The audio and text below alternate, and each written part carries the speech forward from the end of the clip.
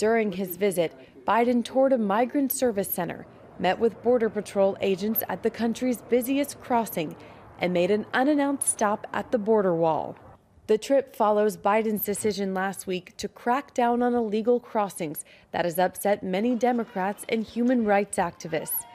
The move will allow up to 30,000 migrants each month from Cuba, Nicaragua, Haiti, and Venezuela to legally apply for asylum, while expelling migrants from those four countries who cross illegally. Last year alone, authorities estimate more than 2 million border crossings, with El Paso being one of the busiest entry points. While Texas Governor Greg Abbott delivered Biden a letter laying out the state's needs from the federal government, he told reporters the visit was two years and $20 billion too late.